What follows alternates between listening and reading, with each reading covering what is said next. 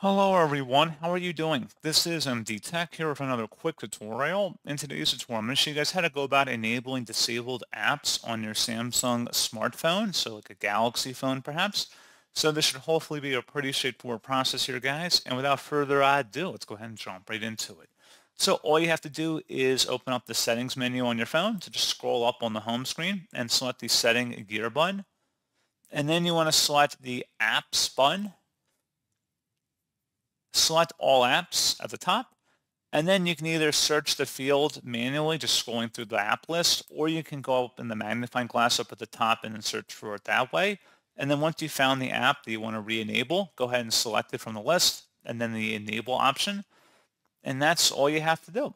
So pretty straightforward process on that, guys. And as always, thank you for watching this brief tutorial. I do hope that I was able to help you out, and I do look forward to catching you all in the next tutorial. Goodbye.